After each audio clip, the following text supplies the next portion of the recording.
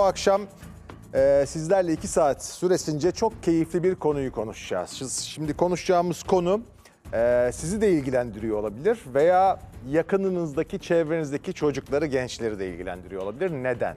Şimdi bugünün çocukları e, artık ne olacaksın sorusuna ebeveynlerinden veya yakınlarından gelen, eşten dosttan gelen soruya genelde aynı yanıtı veriyorlar.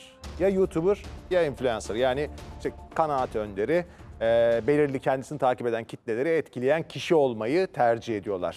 Sebebi de basit aslında çünkü artık onlar işte bu telefonlarla, tabletlerle dijital bir dünyanın içerisinde doğuyorlar ve bir şekilde e, o tabletler, telefonlar çocukların e, yardımcı annesi gibi olmuş veya bakıcısı olmuş durumunda. Onlar da sıklıkla işte bu platformlarda gezindiği için kendileri de oradaki e, abilerini, ablalarını veya yetişkinleri bir şekilde kendilerine rol model alıyorlar. Sonuçta da ortaya böyle bir durum çıkıyor. Sosyal medya bir iş alanına dönüşüyor. Aslında e, 2010'dan sonra özellikle YouTube'da gelişen bir akım var. Türkiye'de 2012-2013 gibi e, geldi. Yani bu YouTuber'lık hikayesi başladı. Ama daha fazlası var. İşte Instagram var, Twitter var veya işte Twitch var. Birçok alan var ve çocuklar artık bu yönde ilerlemek istiyorlar. Peki çocuklar, gençler veya yetişkinler kendi işinden memnun olmayanlar da dahil nasıl bir iş alanının ortasına e, atılacaklar? Orada ne gibi imkanlar var? Başarı nasıl gelir? Bugün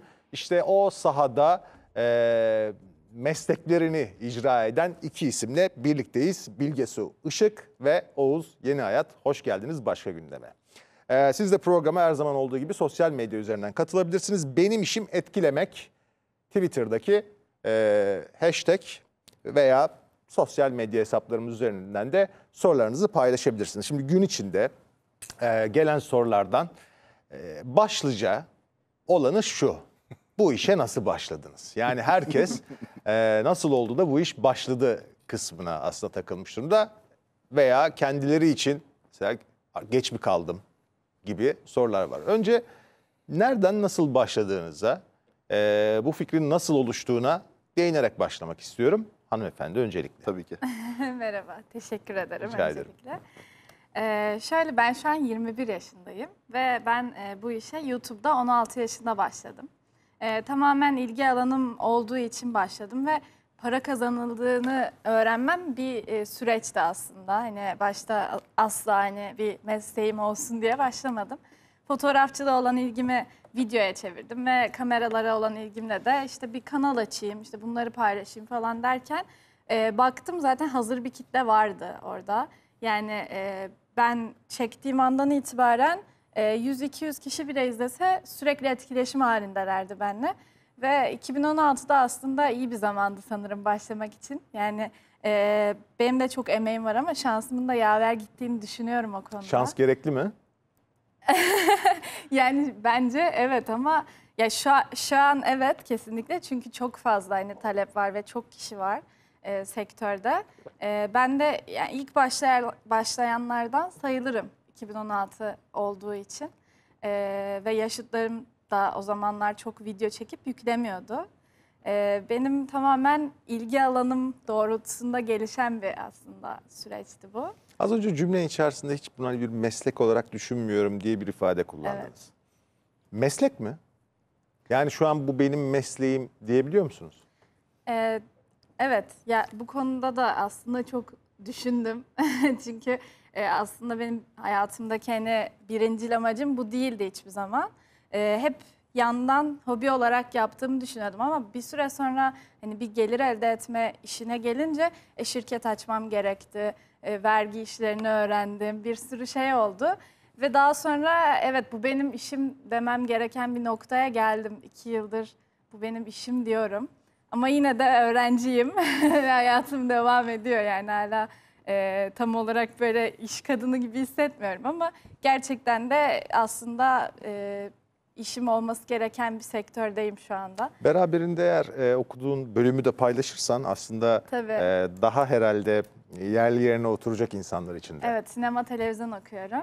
Aynı zamanda reklamcılık okumaya başladım. İki bölümde okuyorum şu an. Çift anadal yapıyorum. Yani il, ya ilgim olduğu için de aynı bölümü tercih ettim. Ama eğer YouTube olmasaydı hiçbir zaman herhalde sinemayı hani düşünmezdim.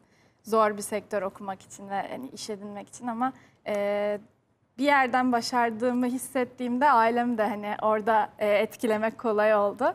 Onların da gönlü rahat oldu. Ben de istediğim yerde istediğim bölümü okuyup istediğim işi yapıyor oldum aslında şu anda.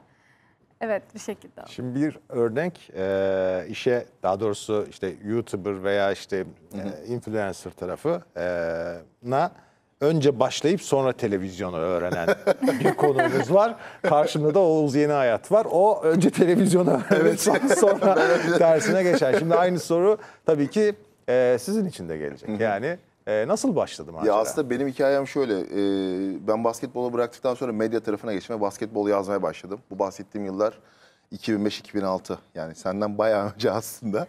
Ondan sonra uzun yıllar e, medya sektöründe ve ağırlıklı olarak basketbol haberleri yazdım. Onun dışında da hep spor haberleri yazdım. E, işte geçmişimde televizyonda var, işte internet gazeteciliği de var, e, dergide var, gazetede var. Her alanı, her tarafı gördüm diyebilirim. Daha sonrasında işte 2010'lu yılların başlarında ya 2010 veya 2011 ya ilk aslında işe blogla başladım ben. O zamanlar bayağı popülerdi ve e, yemek tarafında da çok az blog vardı. Yani işte şuraya gittim, bunu yedim, bunu beğendim, bunu beğenmedim yazan çok az insan vardı. Benim de aslında onu yazma sebebim basketbolu takip ettiğim için Türkiye'nin birçok yerine gidip basketbol maçları izliyordum. Antrenörlerle röportaj yapıyordum. Oyuncu izlemeye gidiyordum ve oyuncularla röportaj yapıyordum. Her gittiğim şehirde de tamamen kişisel zevkimden dolayı işte geldim size röportaj yaptım. Bak, baktım bana kalıyor. İşte Kayseri'deyim, mantı nerede yerim deyip işte esnafa soruyorum, taksiciye soruyorum. İşte yani herhangi birine soruyorum böyle abi siz nereden yersiniz? İşte nereye gitmeliyim? Ben İstanbul'dan geliyorum falan diye. Yani sonra sonra resmen Bağdat'ı bulup gidip yerinde yemeye çalışıyordum. Yani şey değildim böyle ilk gördüğüm işte koskocaman işte mantıcı yazan yerde yemeyeyim de gerçekten yerelinin gittiği yer- yerde yiyeyim diye olayım aslında benim. Ve bunun sayısı bayağı çoğaldı işte her şehirde gittikçe. Daha sonra ben buna blog yazmaya başladım. Ardından işte arkadaşlarım beni aramaya başladı. Abi biz haftaya Kayseri'ye gideceğiz. Nerede mantı yiyeyim? İşte biri diyor ki Diyarbakır'a gideceğim. Nerede tavı yiyeyim? İşte Antalya'dayım. Nerede balık yiyeyim? Falan tarzı. Hep böyle sorular gelmeye başladı. Şimdi herkese yetişmen çok mümkün olmuyor. Ki o zamanlar daha Instagram yoktu. S- sadece blog ve biraz işte Twitter tarafında yazıyordum bunlar ama tamamen çok amatör yani.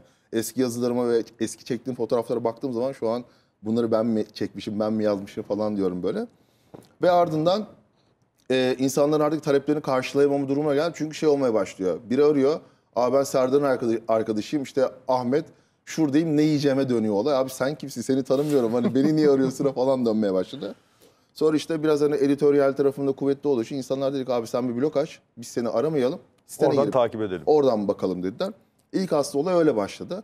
Sonra 2012'de Instagram'a çevrildi bu olay, evrildi. Ee, en son işte 2011-2014'te ben NTV Spor'da çalışıyordum. 2014'te NTV Spor'da ayrıldıktan sonra o zamanlar NTV'de Vedat Bey, Vedat Bilör program yapıyordu Tadı Damağımda diye. Onun yapımcısı da beni çok severdi şirketten Nurcan. Ondan sonra dedi ki hazır zaten hani işten ayrılmışsın vesaire gel dedi bizim yanımızda. Ben onlarla beraber İstanbul'da restoran restoran o bütün hani arka plandaki amelelik tabiri caizse yapıp hem de Vedat Bey'le zaman geçiyordum. Aslında bir anlamda işin hani en tepe noktasındaki insandan hani işte ustayla konuşması, insanlara yaklaşması, yemeğe bakışı e, onları aslında bir anlamda ondan öğrendim diyebilirim.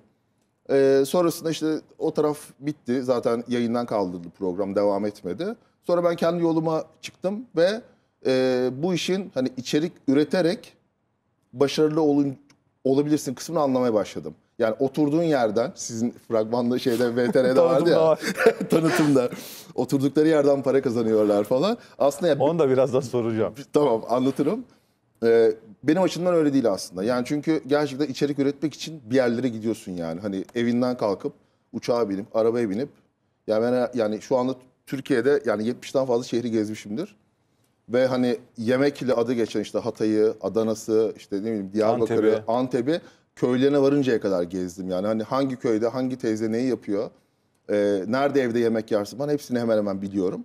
E, o yüzden bu iş gerçekten çok kolay olmuyor. Yani belli bir yatırım yani kendine yatırım yapman gerekiyor aslında. İşte bunun için de gidip görmen ve insanlarla iletişim halinde olman ve muhabbet etmen gerekiyor ki seni doğru yere göndersinler. Doğru insanlarla iletişim kurup gerçekten Antep'e gittiğin zaman işte lahmacun nerede diyeceksin veya işte kebabı nerede diyeceksin. Onları e, görmen için oralara çok fazla seyahat etmen ve e, iletişim halinde olman gerekiyor.